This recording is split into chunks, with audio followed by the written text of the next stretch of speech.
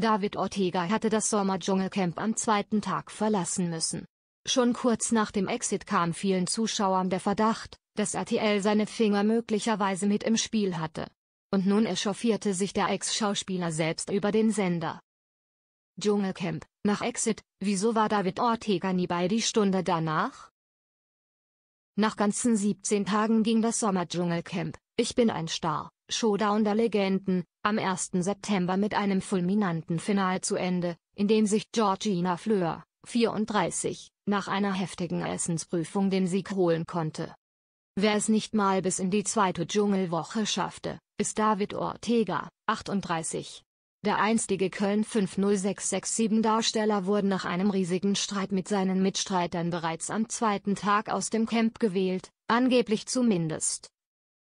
Denn schnell kam bei vielen Ibis-Zuschauern der Verdacht auf, dass David in Wahrheit von RTL aus dem Camp genommen worden sein könnte. Bestätigt ist die Nachricht zwar nicht, dennoch gab es so manche Indizien, die bezüglich des Exits Fragen aufwaffen. Was steckt wirklich hinter David Ortegas Exit? So oder so, rund um das Dschungelcamp-Final meldete sich David Ortega kürzlich selbst im Netz zu Wort und erhob Vorwürfe gegen die Produktion und den Sender, denn, dem 38-Jährigen fiel allem Anschein nach auf, dass all seine Mitstreiter nach ihrem Camp-Exit in die After-Talk-Show die Stunde danach eingeladen wurden, um dort mit den Moderatoren über ihre Zeit im südafrikanischen Camp oder über Konflikte zu sprechen, der einstige Schauspieler habe nach eigenen Angaben aber nie eine solche Einladung erhalten. Doch wieso?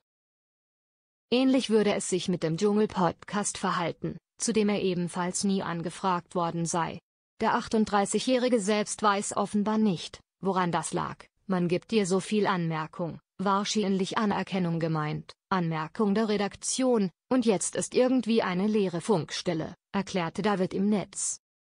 Tatsächlich wirft es Fragen auf, dass David Ortega nach seinem Ibis aus nahezu von RTL ignoriert wurde.